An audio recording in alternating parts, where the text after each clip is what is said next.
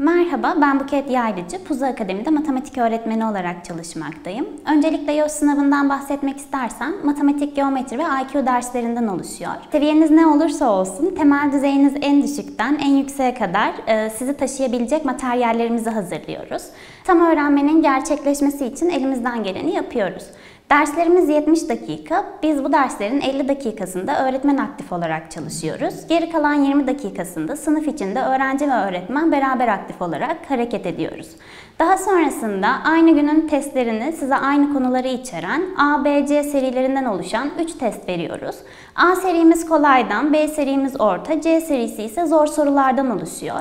Bu şekilde siz bir konuyu gördüğünüz takdirde o günün testlerini bitirmeden, e, öğretmenlerinizle birebir sorularınızı halletmeden kurum içinden ayrılmıyorsunuz. Konularımızı tamamladıktan sonra e, konu tekrar testleriyle sizleri destekliyoruz. Eksik gördüğümüz kısımlarda tekrar birebir öğretmenle çalışmalar yaparak yolumuza devam ediyoruz.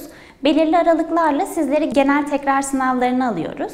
Bu aldığımız sınavların sonuçlarına göre yine birebir çalışmalar yapıyoruz.